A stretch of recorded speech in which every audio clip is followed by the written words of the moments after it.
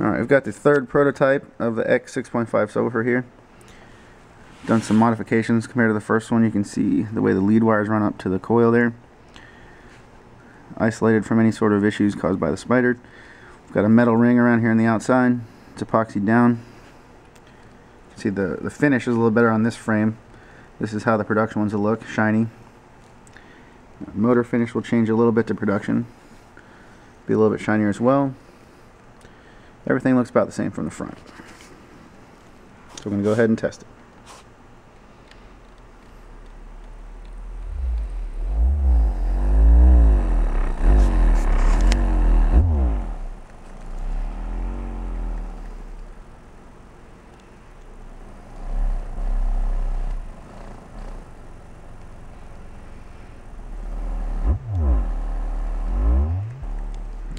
give it a little bit more juice.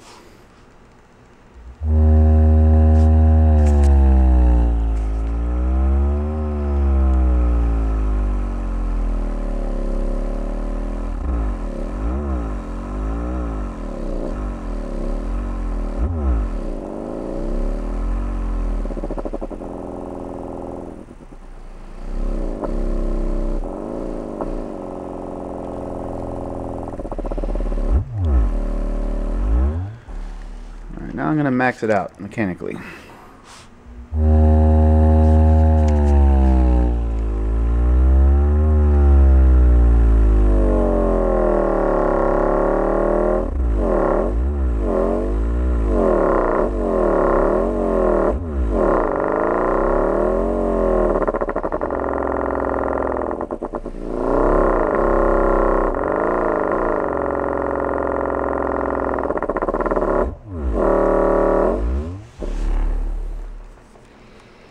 Alright, so pending listening tests, measuring parameters, uh, box modeling, all that stuff, I think we might have it here.